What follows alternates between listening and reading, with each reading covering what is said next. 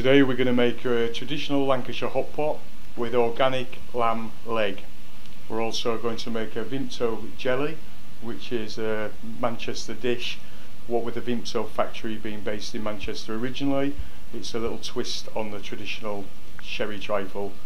We're going to use one kilo of lamb leg sliced thickly. We're going to use three white onions fine dice. We're going to use five carrots diced fine and we're going to use a parsnip, we use black pepper, bay leaf, thyme and garlic and we're going to use a lamb stock. What's so good about traditional meals and why do you enjoy them so much? I like traditional meals, I like really British cuisine I like with a modern twist. I always sort of try and make it all look a bit more modern, a bit more trendy. Um, but I like the flavours and everything going back to traditional British food is all quite healthy. A lot of things are farmed in people's gardens. Back in the day in the war and things like that, I get a lot of inspiration from that, how people used to cook, unlike nowadays where everybody's quite influenced by ready meals. And like I say, that brings me back to being processed. That's why I try and use organic meat and organic veg, just because that is how I was brought up, eating that kind of thing.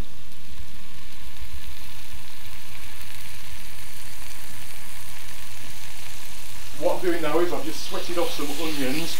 Uh, the white onions have been sweated off into about 50 grams of butter along with some garlic, let's say a tea teaspoon of garlic puree and some fresh thyme. Just again, maybe a quarter of a teaspoon of fresh thyme leaves. So we're going to sweat the onions off, then in a separate pan I'm going to sweat down the carrots, the parsnips, again with a little bit of garlic and thyme, just going to lightly brown them all, again with the same as the onions, and then we'll fry our meat off. Do you think that with the amount of ready meals and frozen food around us these days, people forgot the joys of cooking? Absolutely.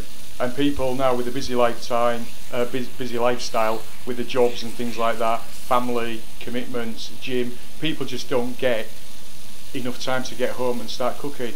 And I don't think there's enough families all together as a family unit where they're learning to cook together basically with the kids or with a partner I think it's just easier to pop in the shop on your way home, Waitrose, Booths, whatever, and just buy something quick.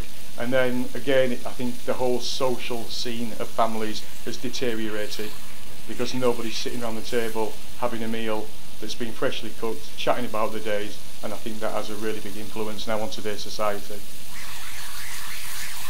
So we're just browning these vegetables, the parsnip and the carrot and the swede, we've got the uh, onions that are just getting a bit of caramelisation on them now.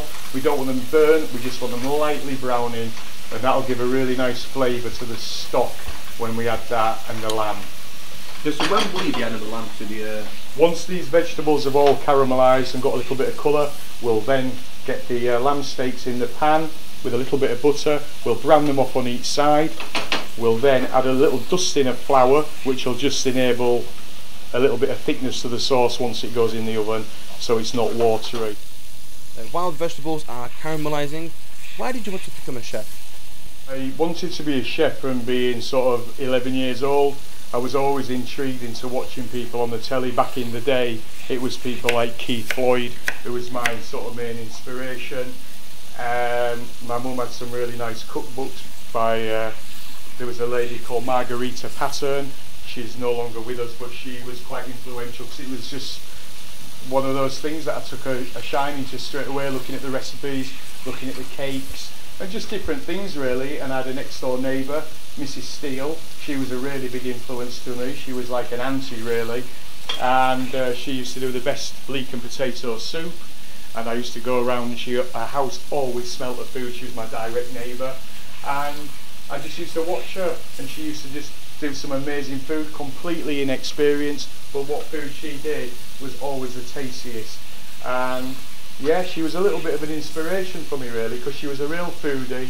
She worked in a greengrocer. She, you know, she worked hard all her life, and I often think about her most weeks at some stage in the week if Mrs. Steele would have liked it.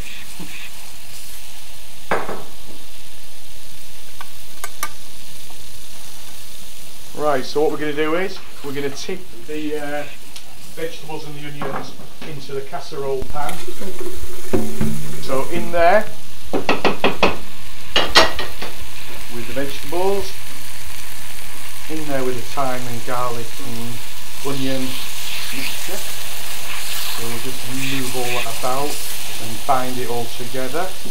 Keep the pan on the heat so it gets really hot that the vegetables have come out of. Then we're going to put a couple of teaspoons of fresh butter in. So one, two. So we've got the butter in the pan. We're just going to brown the butter not too far as a beurre noisette, which is just the term for burnt butter really. We don't want it that far. We're just going to let it go golden. And then we're going to add our lamb leg steaks.